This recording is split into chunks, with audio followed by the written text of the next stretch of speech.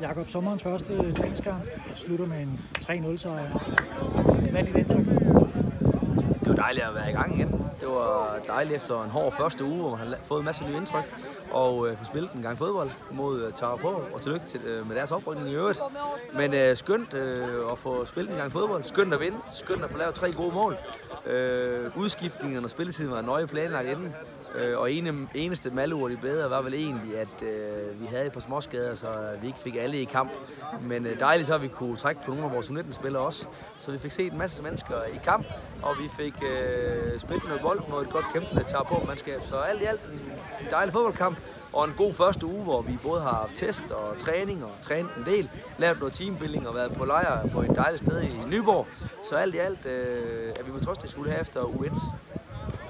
Hvis der er noget bestemt, du sådan, tager med dig her fra øh, både kamp i dag og den første uge øh, generelt, hvad, hvad kan det så være?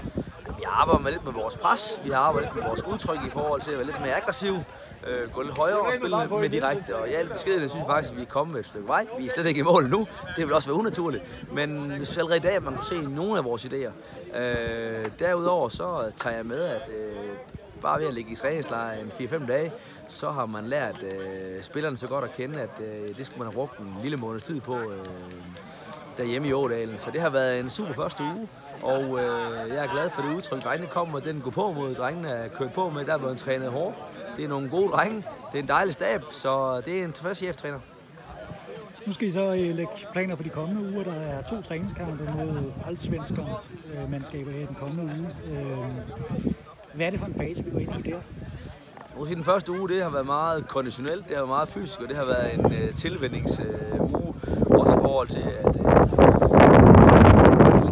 og, øh, nu går vi ind i en uge, hvor der stadig vil være lidt rotation, men vi skulle selvfølgelig op på, uden at forklare Tagerborg, så skulle vi op for, for modstanden, og Østersund, der var i 16-delsfinalen i øh, Euroleague, øh, de er rigtig dygtige på bolden, så øh, det bliver en, øh, en helt anden test, hvor øh, vi ser, hvor langt vi er kommet med vores presspil, for de er rigtig dygtige på bolden. Og det er på onsdag kl. 18. Det glæder vi os til. Det gør vi i hvert fald. Tak for det. Tak for det.